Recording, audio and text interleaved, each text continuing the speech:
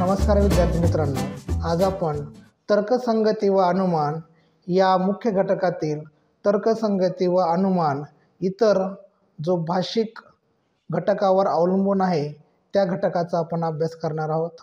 या घटकापूर्वी आपण तर्कसंगती व अनुमान या मुख्य घटकातील वय नातेसंबंध यांचे योग्य अंदाज लावलेले आहेत तर्क करून अनुमान काढलेले आहेत. तसंच या घटकामध्ये सुद्धा आपल्याला विविध बाबीचा अनुमान करायचा आहे अंदाज लावायचा आहे. या घटकामध्ये मुख्यतः नामबदल तुलना घड्याळ घटना आणि विधानं दिलेली असतात. त्या विधानाच्या आधारे आपल्याला योग्य तर्क करायचा असतो. तर तुलना करताना कोणत्या गोष्टी लक्षात ठेवायला पाहिजे किंवा तुलना म्हणजे काय? तुलना म्हणजे तुलना करताना तर्कसंगतीची कसोटी लागते. यामध्ये एखाद्या वस्तूची पदार्थांची किंवा व्यक्तींची तुलना त्यांची उंची त्यांचे गुण किंवा त्यांचा आकार इत्यादीच्या बाबतीत केलेली असते.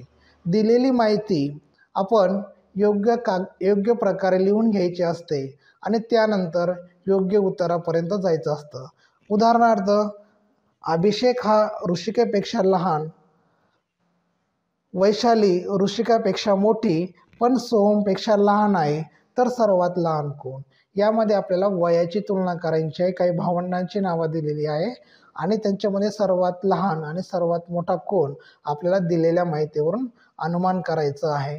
दिलेली माहिती अशी आहे अभिषेक हा ऋषिकेपेक्षा लहान आहे ऋषिका वैशालीपेक्षा लहान आहे पण वैशाली ही सोहमपेक्षा लहान आहे म्हणजेच सगळ्यात लहान अभिषेक आणि सर्वात मोठा सोहम. त्यानंतर जो दुसरा महत्त्वाचा घटक आहे यामध्ये तो घटना. घटनाचा योग्य क्रम लावण्यासाठी दिलेली माहिती आपण व्यवस्थित लिहून घ्यायची आहेत. एखाद्या या उदाहरण बघूया आपण. एका पाळण्याच्या शर्यतीत पंकजच्या मागे सतीश सौरभ हा पंकजपेक्षा पुढे पण किरणच्या मागे आहे. तर सर्वात पुढे कोण? आपल्याला एका पळण्याच्या शर्यतीची घटना दिलेली आहे. कोण पुढे कोण मागे. तर दिलेली माहिती ही योग्य स्वरूपात तक्त्यात मांडून घ्यायची आहे. माहिती अशी आहे की पंकजच्या मागे सतीश बरोबर आपण पंकजच्या मागे सतीशला दाखवायचं आहे. त्यानंतर सौरभ हा पंकजच्या पुढे सौरभ हा पंकजच्या पुढे पण किरणच्या मागे आहे. म्हणजे सर्वात पुढे कोण? किरण आणि सर्वात मागे कोण? सतीश. अशा घटनांचा आपल्याला या घटकामध्ये अभ्यास करायचा असतो. त्यानंतर तिसरा जो घटक आहे घड्याळ. घड्याळातील माहिती आपण कालमापन या घटकामध्ये शिकलेलो आहोत. कोणत्या कोणामध्ये तास काटा व मिनिट काटा यांच्यामध्ये कितीचा केव्हा कोण होतो? किंवा बारा मिनिट काटा बारावर असताना पूर्ण वेळ वसावर असताना अर्धा वेळ होती. हे आपण यापूर्वीच अभ्यासलेलं आहेत. याच्यावरच आधारित पण प्रश्न असतात. उदाहरणार्थ पुढीलपैकी घड्याळातील अयोग्य वेळ कोणती? अयोग्य वेळ विचारलेली आहे.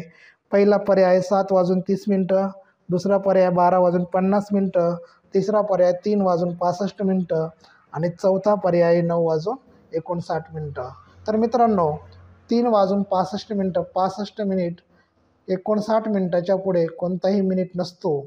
म्हणून याचं अयोग्य योग्य उत्तर तीन वाजून पासष्ट मिनटं आहे. पुढचा जो घटक आहे तो विधान. विधान या घटकामध्ये आपल्याला दोन विधानं दिलेल्या असतात आणि त्या दोन विधानाच्या अंदाजावर आपल्याला तर्क करायचा असतो योग्य अनुमान लावायचा असतो. या ठिकाणी दोन विधानं दिलेली आहेत. दर तीन वर्षाने गावच्या नदीला पूर येतो पहिलं विधान. पंधरा वर्षापूर्वी गावच्या नदीला पूर आला होता. दुसरं विधान.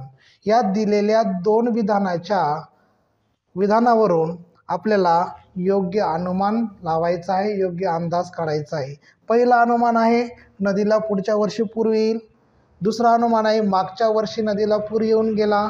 तिसरा अनुमान आहे या वर्षी नदीला पूर येईल. आणि चौथा अनुमान आहे आता दर पंधरा वर्षांनीच नदीला पूर येईल. विद्यार्थी मित्रांनो पहिलं अनुमान आहे दर तीन वर्षांनी गावच्या नदीला पूर येतो. तीन वर्षाचं अंतर असतं. पंधरा वर्षापूर्वी गावच्या नदीला पूर आला होता. पंधरा वर्षापूर्वी. पंधरा वर्षापासून तीन वर्षाचे टप्पे जर आपण केले पंधरा बारा नऊ सहा तीन.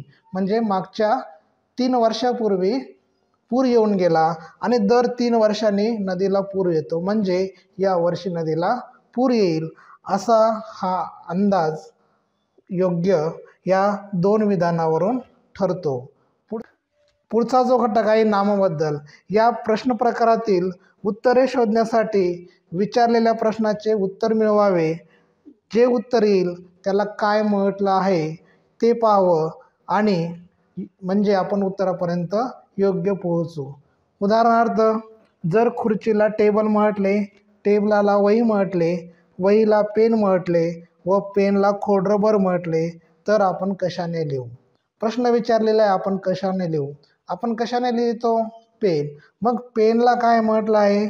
पेनला खोडरबर म्हटले आहे. म्हणजे या- याचं योग्य उत्तर राहील खोडरबर. जर आपल्याला असं विचारलं असतं तर आपण कशावर बसू?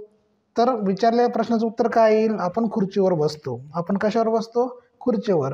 आणि मग खुर्चीला काय म्हटलं आहे टेबल असा तर्क लावून आपल्याला या ठिकाणी योग्य अनुमान काढायचे असतात.